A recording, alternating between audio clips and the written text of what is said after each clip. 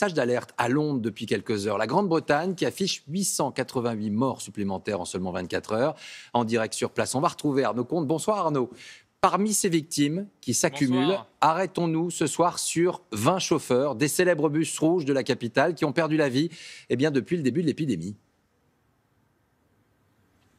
Oui Laurent, et vous savez ici depuis six jours on est sur une moyenne de 800 morts en moyenne donc toutes les 24 heures on a franchi la barre des 15 000 victimes et effectivement parmi ces victimes il y a euh, celles qu'on appelle euh, ici les travailleurs clés qui sont en première ligne et qui manquent cruellement de matériel de protection euh, dont des masques évidemment. Il y a les soignants comme en France mais il y a aussi vous l'avez dit ces chauffeurs de bus qui sont en première ligne, qui travaillent en milieu confiné, qui sont donc peut-être plus que quiconque exposés au Covid-19 et dont le sort émeut profondément le Royaume-Uni euh, depuis quelques jours, comme on vous le raconte ce soir avec Léna Soudre et Chloé Duval.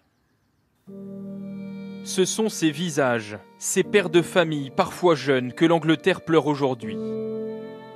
Des héros du quotidien qui assurent malgré le Covid-19 leur mission de service public.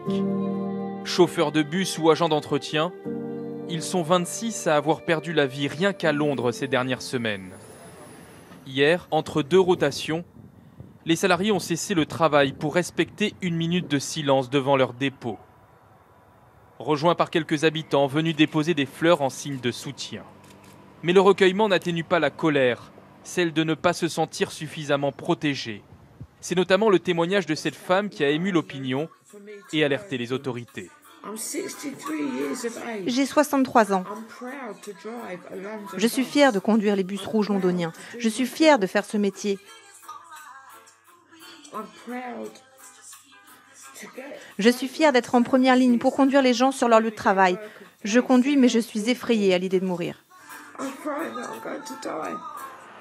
Si la fréquentation des bus a diminué de 85%, le danger est toujours présent pour les chauffeurs. Alors à partir de lundi, l'entrée dans les bus ne se fera que par la porte du milieu. À l'avant, elles seront condamnées.